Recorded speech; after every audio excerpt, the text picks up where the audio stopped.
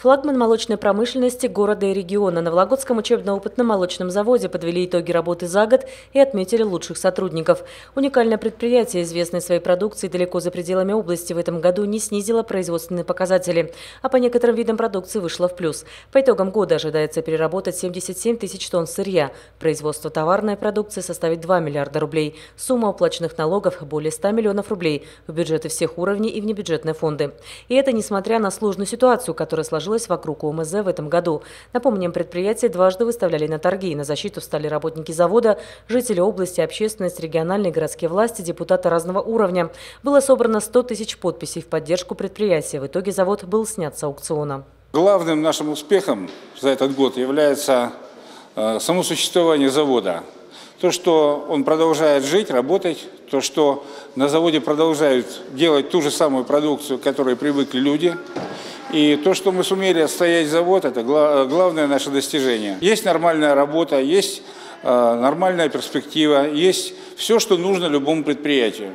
Сегодня на ОМЗ трудится свыше 400 работников. Лучшие из них на торжественном вечере, приуроченном к Дню работника сельского хозяйства и перерабатывающей промышленности, получили награды Министерства сельского хозяйства, областных и городских властей и руководства предприятия. Всего в списке награжденных более 60 человек. Это ветераны ОМЗ, опытные молодые специалисты. Такой коллектив, такой профессиональный коллектив, который дарит нашим волокжанам и э, нашим россиянам молочные продукты высокого качества.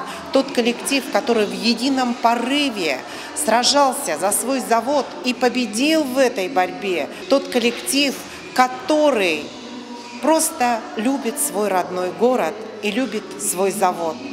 Этот коллектив заслуживает такого уважения, такой любви со стороны волокжан.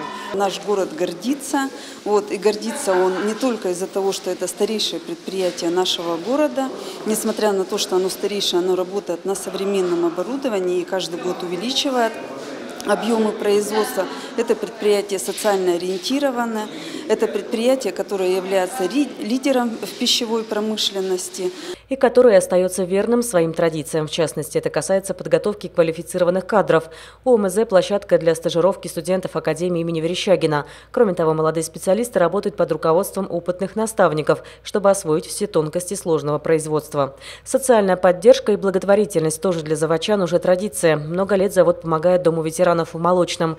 К примеру, каждый год в Пасху на столе у пожилых волокжан освещенная продукция от вологодского предприятия. Анна Богачева, Михаил Плещев, Вологда, портал.